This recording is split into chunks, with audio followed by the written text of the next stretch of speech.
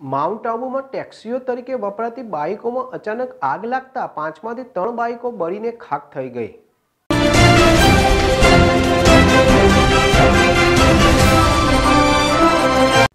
સિરોહી જિલ્લાના પર્વત પર્યટન શહેર માઉન્ટ આબુમાં મોડી રાતના આતંકી ઘટના બની હતી.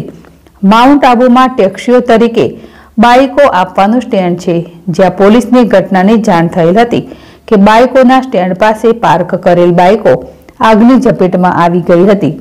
જેની જાણ થતાં જ પોલીસ અધિકારી લહેરચંદ જોશી અને ડ્રાઈવર સુભાષ ઘટના સ્થળે પહોંચ્યા અને જોયું કે બાઇકોને આગ લાગી છે. ત્યાં પાંચ મોટરસાયકલો ઊભી હતી. પોલીસે બે બાઇકને આગથી બચાવી હતી. આખરે આ ઘટનામાં ત્રણ બાઇક સળગી ગઈ હતી.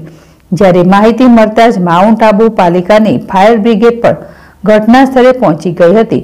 અને મળેલ માહિતી મુજબ તે બાઇકની ટેક્સીનો ઉપયોગ કરવામાં આવી હતી, જે પોસ્ટ પર પોસ્ટ કરાઈ હતી.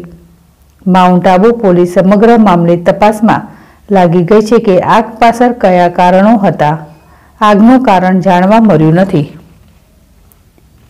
શુક્રાણા વાસ્યા જેડેશ ટીવી, સિરોહી.